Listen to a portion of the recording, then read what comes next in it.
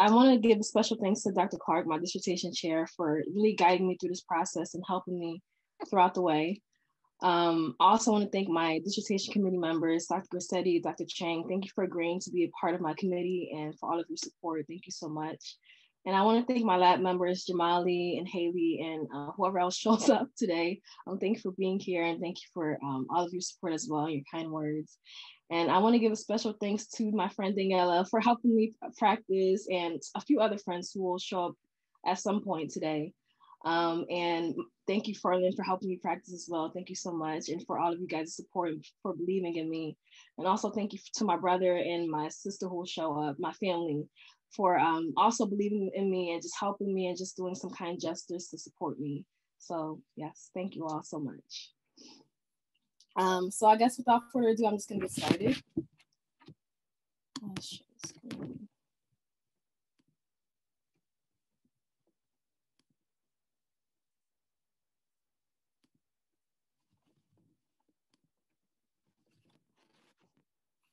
Okay, so the title of my project is called Social Support from Parents and Friends Among Black and Multiracial Adolescents, Responses to Stressful Situations in Multiple Risk Neighborhoods.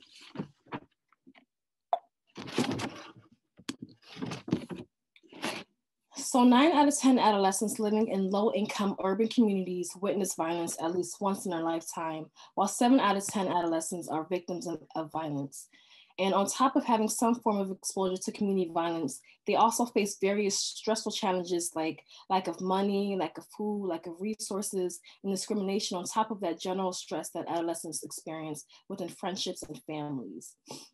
And when adolescents are exposed to all of these stressful situations over a long period of time, they're at an increased risk of developing mental health problems like depression, anxiety, PTSD, delinquency, and aggressiveness. One strategy that is known to be beneficial in preventing and reducing mental health problems, particularly among Latino and Black adolescents living in low income urban areas, is social support. And according to Bokhorst and colleagues, social support is the availability of one or more people who can provide care, acceptance, and sympathetically listen when an individual is dealing with problems. So according to Tardy, there are multiple dimensions of social support. And in his study, there were actually five um, the, the dimensions of social support that he listed. And of the five, three are most aligned to my study.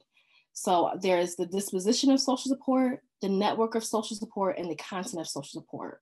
So the disposition of social support refers to social support that is available. So in other words, perceived support or implicit support.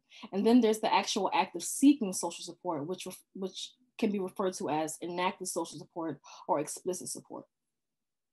Then the network of social support refers to the people that are actually being sought or providing the social support. So in other words, the source of social support.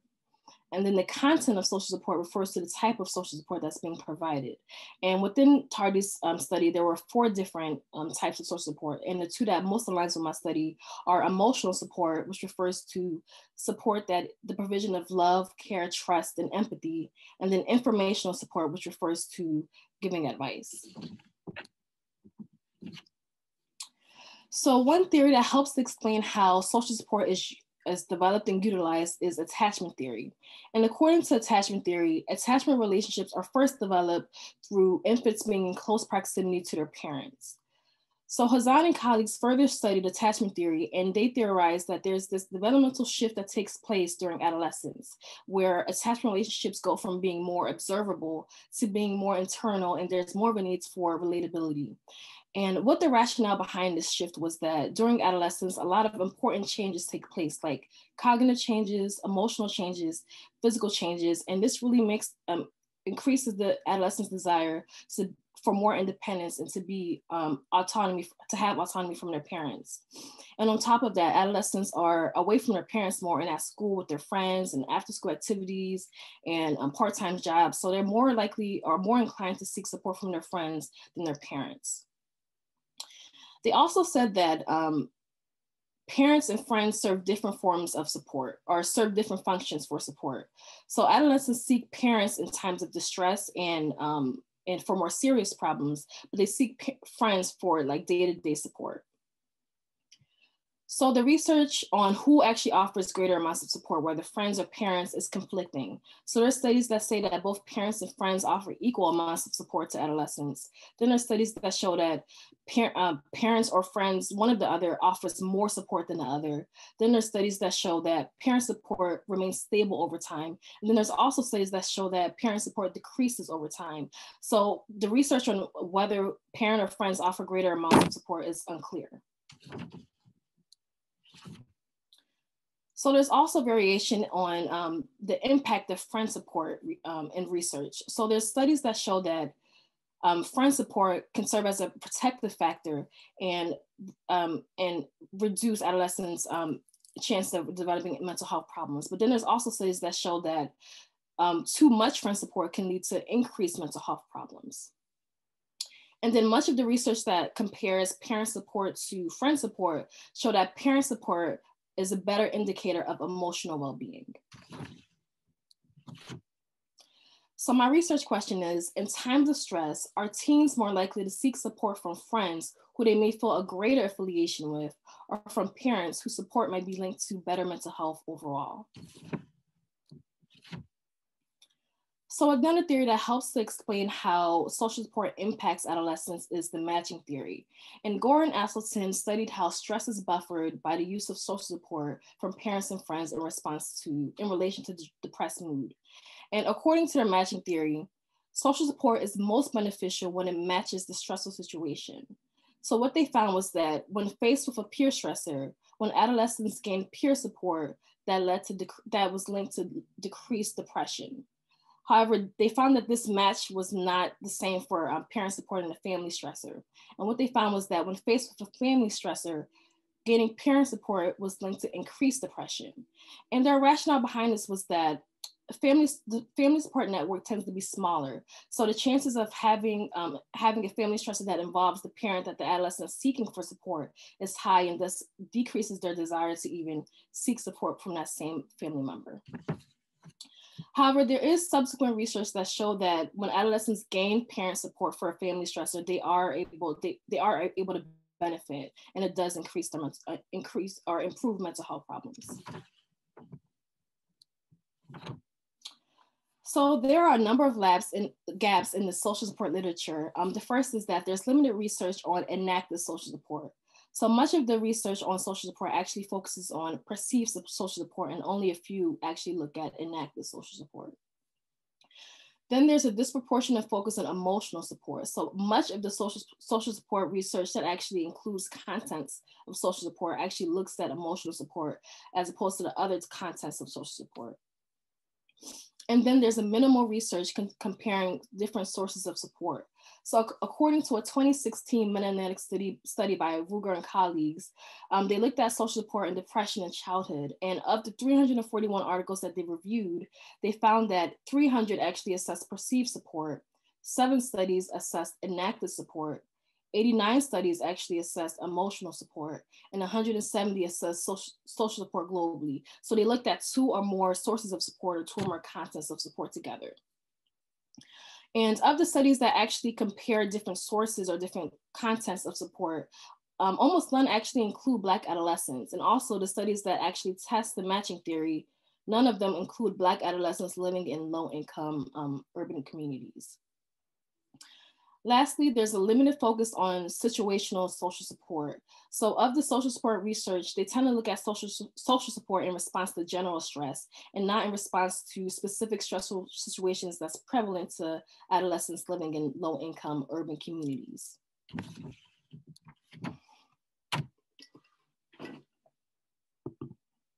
Okay, so the first aim of my study is to examine from whom adolescents seek social support in response to stressful situations. I first hypothesized that adolescents will seek emotional support from friends more than from parents in response to stressful situations. My second hypothesis is that adolescents will seek informational support from friends more than from parents in response to stressful situations.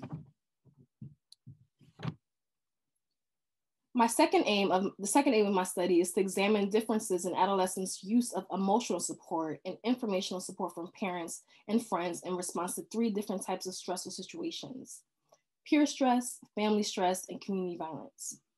So my third hypothesis is that more adolescents will seek emotional support and informational support from friends in response to peer stressors than in response to family stressors or community violence.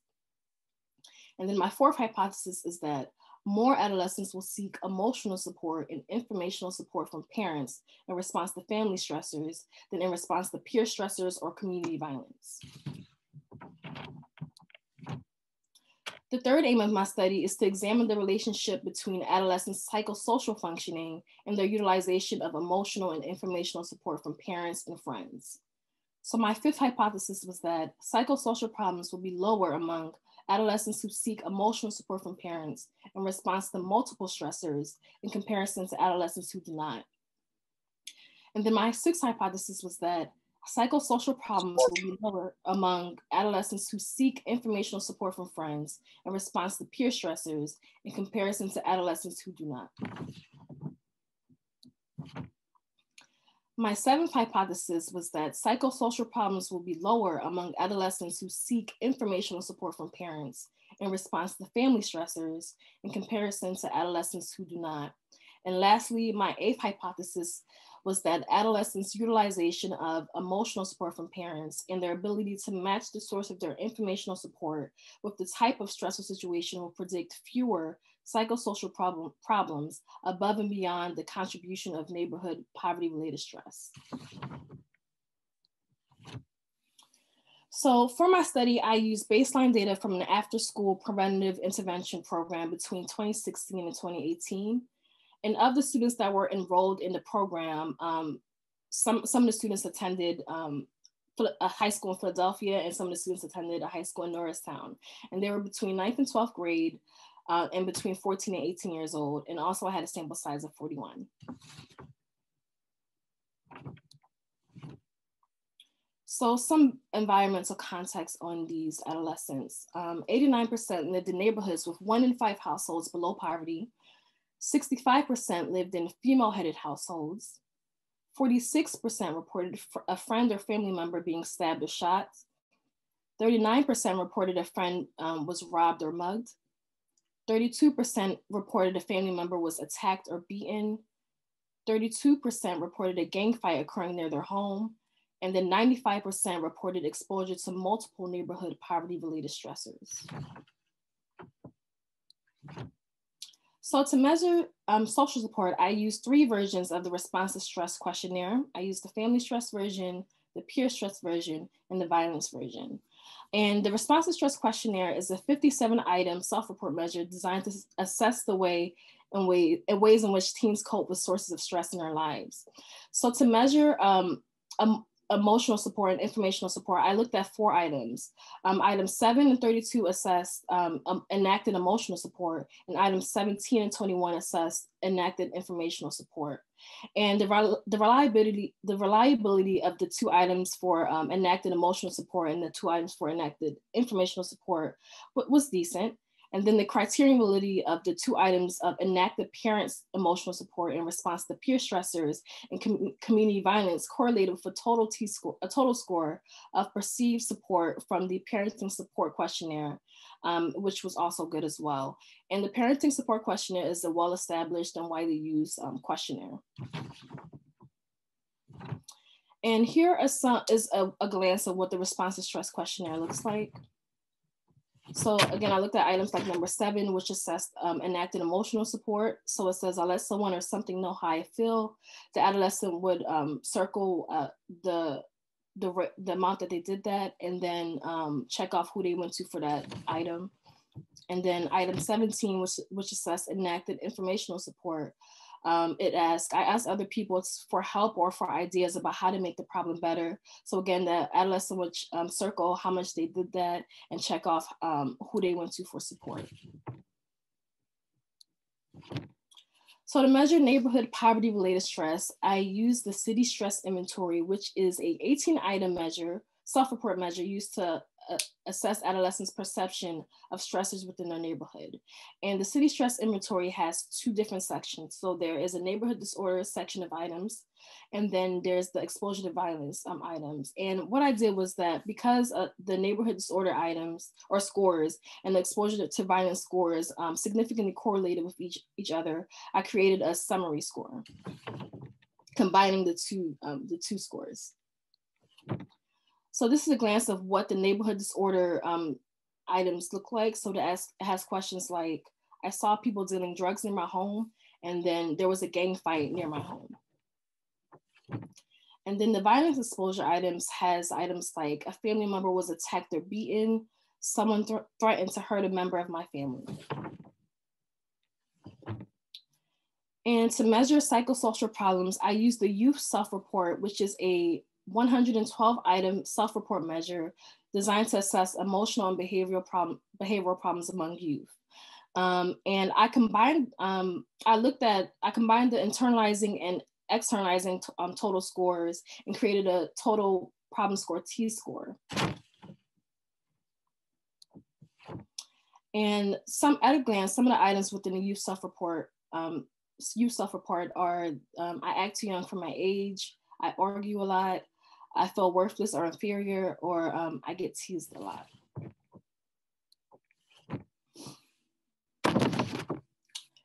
So for hypotheses one and two, I ran a series of 12 chi-square Goodness of Fit tests to examine whether the proportion of adolescents who utilized support from a friend or not was any different from chance. And also I examined whether the proportion of adolescents who used parent support or not was any different from chance.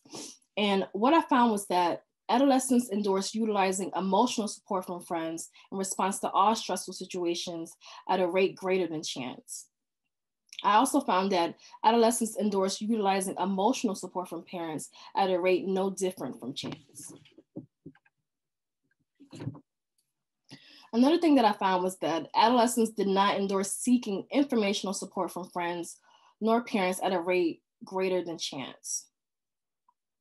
Then I ran a Mc, Mc, McNemar's or, or a McNemar's chi-square test um, to compare the proportion of adolescents who sought support from peers versus parents. And what I found was that the use of friend support was significantly greater than parent support in response to peer stress. So this is a table showing the percentage of adolescents seeking support from a friend versus parents. And as you can see across um, all stressful situations, adolescents endorse seeking um, emotional support um, at a rate that was significantly greater than chance. So across all um, stressful situations, violence, family stress, and peer stress, they endorse seeking emotional support at a rate significantly greater than chance. So for hypotheses three and four, I ran four separate Cochran's Q tests to determine if there were any differences on seeking emotional support or informational support um, from friends or from parents across three stressful situations. And what I found was that across the three stressful situations, there was no significant differences in the proportion of adolescents seeking emotional support from parents, informational support from parents, emotional support from friends, or informational support from friends. I also found that the proportion of adolescents seeking emotional and informational support from friends was not significantly greater in response to peer stress, and that the proportion of adolescents seeking emotional and informational support from parents was not significantly greater in response to uh, family stress. So again, in this table, the proportion of adolescents seeking peer, um, peer stress, emotional and informational su support from peers through, from friends during a peer stress was not significantly greater um, within a peer stress than um, violence or family stress. And then the proportion of adolescents seeking parent support within a family stressor was not significantly greater than within a violent stressor or within a peer stressor.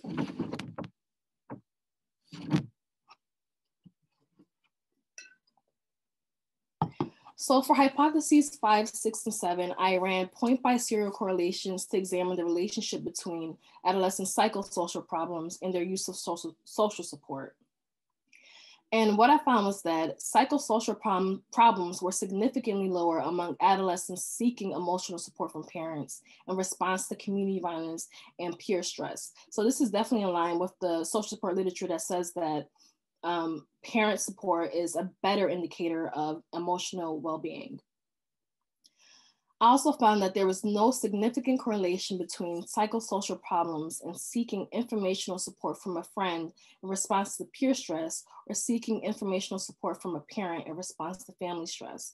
So what this is basically telling me is that um, there's no relationship between psychosocial problem and matching the source of the support to the stressful situation. So this pretty much told me that the matching hypothesis was not supported. So I didn't go on to test the matching hypothesis for my, with my last hypothesis.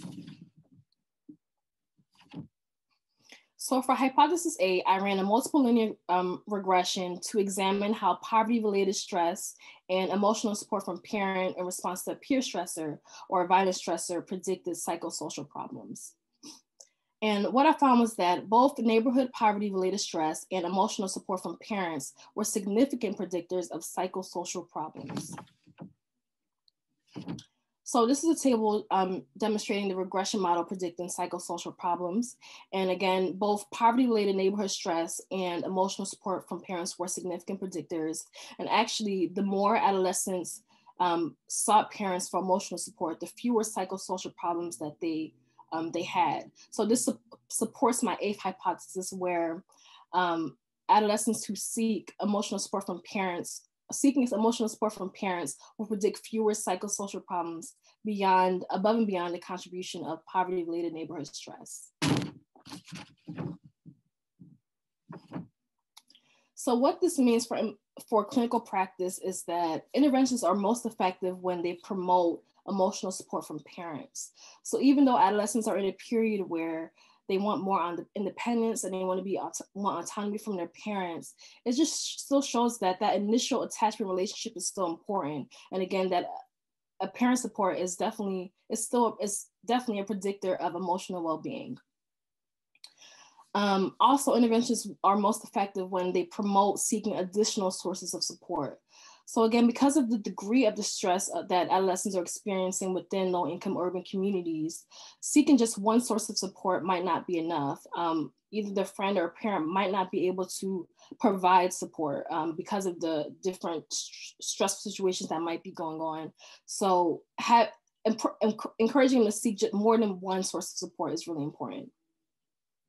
And then also promoting youth to recognize that emotional support from parents can be helpful, helpful across different types of stressors. So just normalizing um, the adolescents to, to seek their parents for different stressful situations, not just community violence or maybe a family stressor, but for just different situations. And actually there are some, um, some interventions that are targeted um, to um, or that focuses on improving adolescent and parent relationships. So there is attachment-based family therapy, which focuses on improving parent and adolescent relationships and improving relational skills. And then there's this program called FACES, this, the FACES program, which stands for Families Coping with Economic Strain. And this program encourages families to communicate and cope with poverty-related stressors.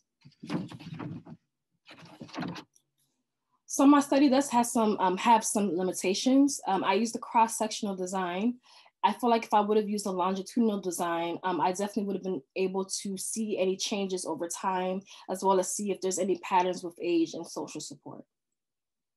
I also had a small sample size. I had a sample size of 41, and I feel like if I would have used a bigger sample size, um, it definitely would have increased the validity of my, my findings. Um, I also was missing some data, so not all the the participants completed the questionnaires in its totality.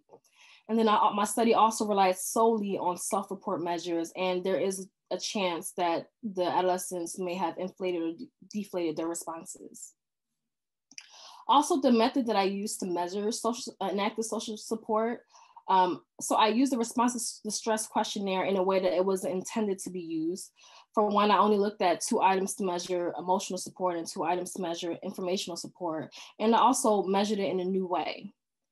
Um, also, it was unclear whether the support members were actually involved in each stressor. So I, I, what, it wasn't clear whether who the parent that was involved in the family stressor was the same parent that um, the adolescent was seeking for support, or it was also unclear whether the, the peer that was the friend that was involved in the peer stressor was also the friend that the adolescent was seeking for support.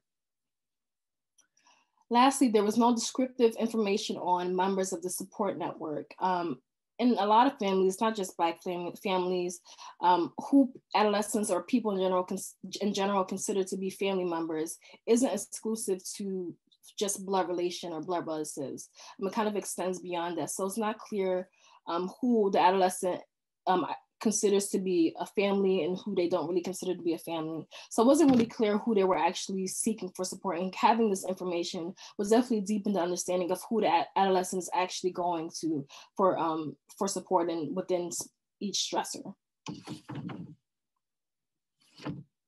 So my study does have some strengths.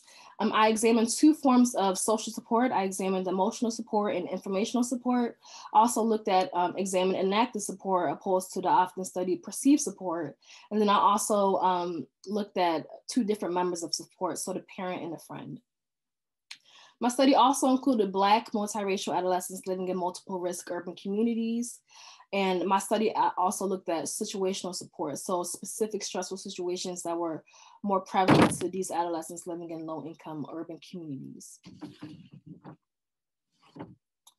So future research should, future research should definitely examine more than one form of social support.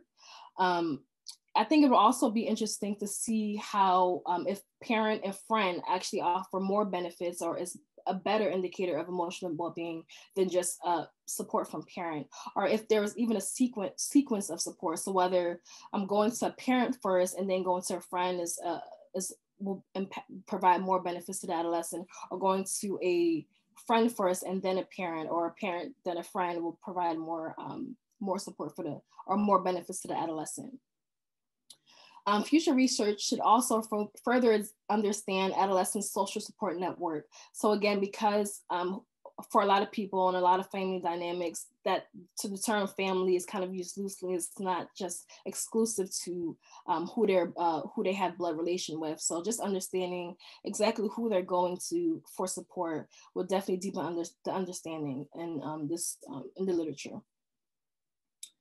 Um, future research should also further examine um, enacted social support as opposed to the often studied perceived support. And future research should also further testing of the matching theory, um, also on like diverse samples, not just um, not it doesn't just have to be black adolescents but just diverse samples and diverse um, backgrounds uh, or racial backgrounds ses groups um, as well as um, looking examining the match between parent support and other stressors and not just parent support and family stress. Um, lastly, future research should also examine the impact of COVID-19. So my data was collected between 2016 and 2018, and I think it will look really different from um, uh, data that's collected during the pandemic or even after the pandemic.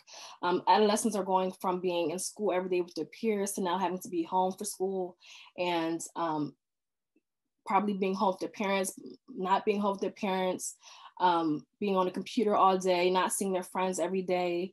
Um, it, it's just a lot of changes. And then there's the lack of resources, lack of money, then people getting sick. So it really be will be important and interesting to see how COVID-19 may have impacted their use and their and the impact of gaining support from not just friends, but even parents. And that is it. Thank you.